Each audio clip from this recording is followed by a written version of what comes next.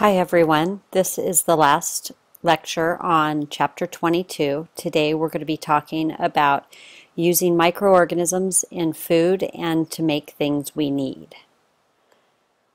So when we talk about microorganisms and making food, we also need to talk about the role that they play in spoilage of food too. So human food comes from another organism generally, and it's rarely obtained in a sterile or uncontaminated state. So you can think about that either in vegetables and fruit or even in meat, that it is coming from a non sterile environment or state. And food can become contaminated along the route of procurement. It can be contaminated during processing or preparation with microbes from soil, bodies of plants or animals, even from water, air, and food handlers or utensils. And in some cases, microbes can be added to food to obtain a desired effect, so a beneficial effect or beneficial in the sense of taste. So we'll kind of go through those. So when we're looking at it, let's start with the beneficial. Um, food can be fermented or otherwise chemically changed using microbes or microbial products, and this can improve the flavor, taste, or texture. And microbes can also serve as food. Sorry, I missed a V there. And then detrimental effects. Microbes cause food poisoning. We know this that there are bacteria that can cause food poisoning. They can also cause foodborne illness and they can also spoil food. And then there are cases where the presence of microbes would be neutral, so would not cause disease or change the nature of the food. So as long as food contains no harmful substances or organisms, it's suitable for consumption. And so it's largely a, a matter of taste of whether or not something tastes good that you would want to eat it. So the test of whether certain foods are edible is often guided by culture. Different cultures find different flavors to be enjoyable. It's also guided by experience and preference. So the flavors and colors and textures and even the smells of many uh, cultural delicacies are actually supplied by bacteria or fungi that have been added. So it may be something that maybe you don't like, but in another culture would be uh, a delicacy. And it's just by, generally speaking, that experience and preference. So some that would be good examples of this are poi, pickled cabbage, Norwegian fermented fish, and Limburger cheese. These are all very strong smelling, tasting um, textures that are very popular in certain cultures but may not be in a particular culture.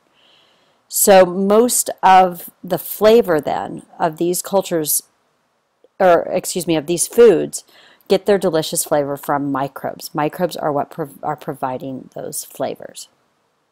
So food fermentation is a good example of this. And many culinary procedures, we actually add microbes to the food and encourage them to grow. And this is true in bread. We have yeast that helps bread rise. Cheese, beer, wine, and yogurt we see with fermentation and pickles. So these reactions actually encourage that biochemical activity because that's what gives it the taste or the smell or the appearance in the food that we like or that makes it really what it is. And these microbes can be occurring naturally on the food substrate or they can be added as a pure mixed sample of a known bacteria mold or yeast. So many of you have probably had sourdough pancakes. You've probably heard the term starter culture, and this is the starter culture to continue that process. It adds added to food substrate to continue the process. So many of the food fermentations are synergistic, and what that means is that these microbes act in a way that convert that starting substance to that desired end product. So it's actually that microbes acting on it that convert it to what we want the product to be. And large scale production happens with fermented milk, cheese, bread, alcoholic brews, and vinegar. And these can be done in a large scale production so that we have a large amount of these. And a lot of effort is spent selecting and maintaining and preparing these cultures so that we don't have contaminants, especially in a large scale production. And then most of the materials that we start with are raw and they're of either plant or animal origin, although generally speaking it's plants. We have grains, for example, when we look at alcoholic brews or breads. Vegetables when we're looking at pickling or vinegar additions, and beans. These are all things for fermentation. It is true that we do do some with animal origin, and those would be with milk and meat. So that's kind of going over the food. We also have a use of microorganisms to make things that we need. And there has been a real push in industrial microbiology. And so these are large scale commercial enterprises that use microorganisms to manufacture consumable materials. So very large scale because you think of how small the microorganisms are, how big of a scale and what this would take. So we do bulk production of many organic compounds, and these include antibiotics, hormones, vitamins, acids, solvents, and enzymes. And the processing steps that are involved involve fermentation similar to those in food technology, but we're talking about a much, much larger scale so that they can produce this specific compound, and they often involve many complex stages along the way in this production. So why are we doing these industrial microbiology? And mainly we're doing it because for a number of reasons, but one is that we can produce chemicals that can be purified and packaged for cellular use in other chemical product, commercial products. And thousands of tons of organic chemicals are produced by this industry, and it's worth billions of dollars. It's a very large business and to create just one product, the industry has to determine which microbes and what compounds we have to start with, and then also the growth conditions that would work best to get the production going. And research and development of this takes 10 to 15 years and billions of dollars. So it's a very expensive and very time consuming research and development, but the payoff is great. So the one that I find to be the most interesting, especially in this day and age, is the work that we're seeing on biofuels and trying to find alternative fuels. So there's a number of different ones we're looking at. One is the use of cyanobacteria and algae species with the hope that it would replace gasoline and jet fuel.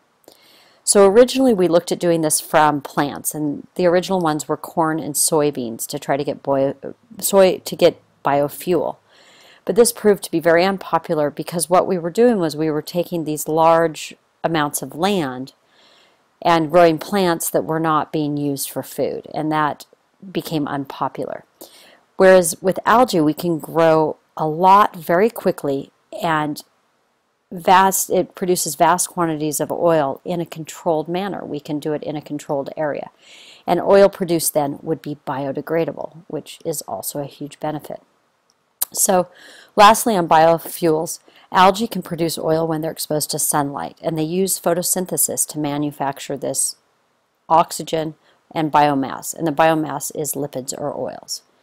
And many governments and private industries are investing a lot in researching these projects and on the hope that this technolo technology on a large scale would replace a significant amount of fossil fuel. So I find that to be one of the most interesting.